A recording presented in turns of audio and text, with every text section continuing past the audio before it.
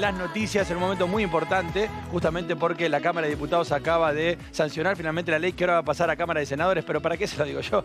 Si tengo a Mary Flyerman y a Pablo que hablan. Bienvenidos, chicos, buenos días, ¿cómo están? ¿Cómo va? Agotados, ¿eh? 15 Bien. horas de debate Wow. y siguen, siguen ahí porque están votando artículo por artículo. Sin, dor- sin Sin dormir. Sí, ¿no? ¿eh? Y de hecho, en un momento, Sergio Massa, que está como muy dicharachero, está como Sí. muy charlatán, dio notas, eh, este, Yo creo que está dormido y está haciendo todo para que no se le note, me parece. Puede ¿no? ser. Le pidió en un momento de, de esta larguísima jornada maratónica, este, por favor que a todos les sirvieran café, porque en un momento, por ejemplo, el diputado eh, Malaspina estaba diciendo, eh, estoy votando el artículo 32, no, diputado, vamos por el 35. A ver, un segundito, bueno, no, sí estoy confu-". Estaban todos muy cansados. Vamos a repasar este, Esto es en brevemente. vivo, ¿no? Sí, esto es en En vivo porque ahora. todavía debe quedar Ahora una en hora de debate según, este, claro, como están artículo por artículo, según quieran generar más o menos debate en algunos. Claro. Eh, vamos a, a repasar un resumen cortito de Telefe Noticias, muy bueno, que condensa todo lo que durante esta madrugada, mientras vos seguramente estabas durmiendo, votaron los diputados de la Nación.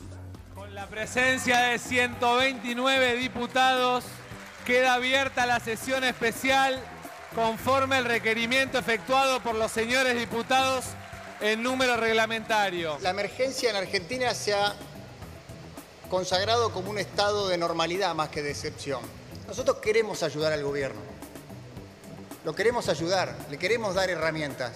Pero no nos pidan que traicionemos a nuestro 41%. es una nueva ley de plenos poderes que se está pretendiendo votar en la Argentina. Si uno se, da- se va de viaje al exterior por 15 días de la Argentina, cuando vuelve parece que fueron 15 años. Este último gobierno ha entregado prácticamente un país con un 36%, pero no nos olvidemos que el anterior lo entregó con el 30%. con excepción de la ley que en 1835 le concedió la suma del poder público a Juan Manuel de Rosas, esta es por lejos la ley más delegativa de la historia Hay un viejo dicho que dice, ¿cómo se hace para esconder un elefante en la 9 de julio? Se llena de elefantes. Tiene tantas cosas este paquete que terminamos hablando de todo y no hablamos de nada. ¿Cómo tienen la indecencia de venir a oponerse? Que se le den 5 mil pesos este mes y 5 mil el que viene y se ajuste más y más rápido la jubilación de las jubilaciones mínimas. Dejaron al 85% de los jubilados de la Argentina bajo la línea de pobreza. Y si dejamos todo como está, terminamos hundidos porque ustedes nos llevaron a este abismo. ¿Cómo no vamos a tocar nada? Y la excusa de todo esto es el falso argumento de la tierra arrasada. Tierra arrasada era el pacto con Irán y el asesinato de Nisma. De las vallas que están afuera del Congreso, algo que demonizaron hasta el cansancio y que fue lo primero que hicieron para su primer sesión. Quiero aclararle, diputada, que aún contra la voluntad de este presidente fue decisión del gobierno de la ciudad el de poner las vallas, no fue decisión de esta presidencia y de esta casa. Nos entendemos y comprendemos las peripecias discursivas que vienen realizando para tratar de disimular el estado catastrófico en el, cual dejaron nuestro país. Con la presencia de 129 diputados, queda abierta la sesión especial. Por eso es una ley, por eso es una, una ley que se llama de solidaridad social y de reactivación productiva. Se aprobaron nueve emergencias. En general, los dos artículos más polémicos tenían que ver con anular durante seis meses la movilidad jubilatoria. Claro. Este, y esto preocupaba un poco a los, a los jubilados. En nuestro país hay este, muchas diferencias. Dentro de la región es el país que más diferencias genera y presenta entre la jubilación mínima y la más alta.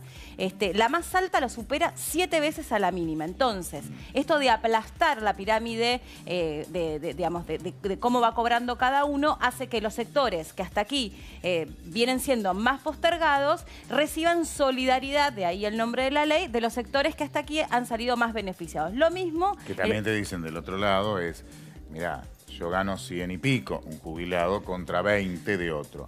Pero aporté durante toda mi vida laboral en proporción a esos 100 y Claro, pico. estamos hablando Entonces, de... Mary, eso- perdón, Ent- ¿ganan o bueno. pierden los jubilados con esto? Porque en definitiva, ¿qué? dirían como que los jubilados de arriba le dan a los de abajo, pero son los Eh, jubilados en realidad, como te digo, se achica la, la pirámide y es un sector, la verdad, todo que viene siendo postergado hace años el sector de los jubilados. En realidad, la mínima durante los seis meses de la anulación o la suspensión de la movilidad jubilatoria llevaría su jubilación alrededor de 19 mil pesos, es un 30% de incremento, y el resto de los sectores dicen los primeros dos meses no van a haber eh, diferencias en, los, en los haberes que cobran, pero lo que también es importante que se incorporó es que también va a pasar por el Congreso la nueva fórmula mediante la cual se va a ir generando un aumento en el resto de las jubilaciones. Para pasarlo en limpio, en general todo, todo lo que se está votando tiene por objetivo generar una buena negocia- negociación con el Fondo Monetario Internacional, es decir, mirar hacia afuera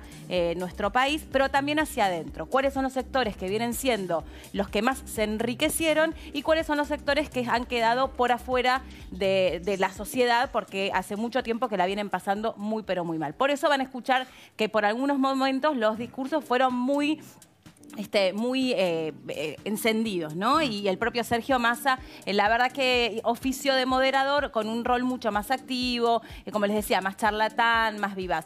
Y el otro tema también es el tema de las retenciones que se los decía, que también se aprobó una modificación importante en el que se dio el oficialismo, que es una compensación para pequeños y medianos productores, que de alguna manera equipara esta, este retraso que, presentan. Y un datito nomás por lo que escuché. Cinco años después siguen jugando la política, jugando a la política con los restos de una persona muerta que es Nisman. ¿eh?